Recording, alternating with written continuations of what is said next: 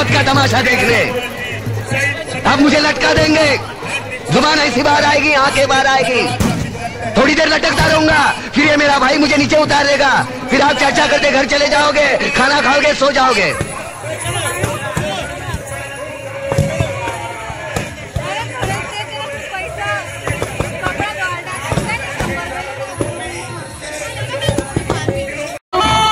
हार्दिक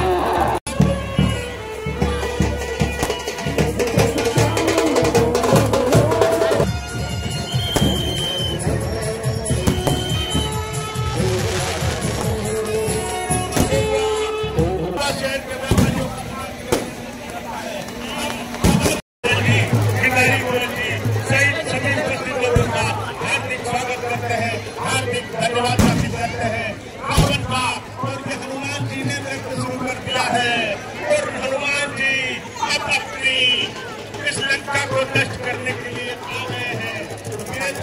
संगठन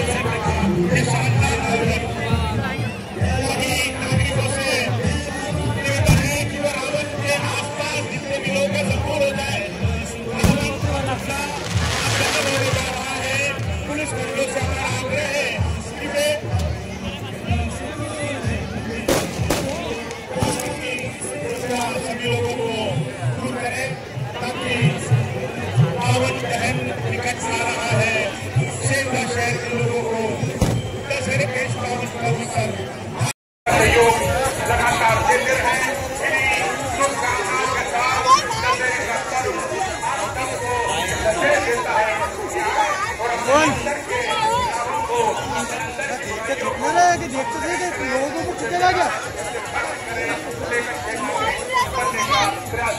तो शर्म लग रही है अब दिख नहीं रहा कि देखो यार टुकड़ा था हैं?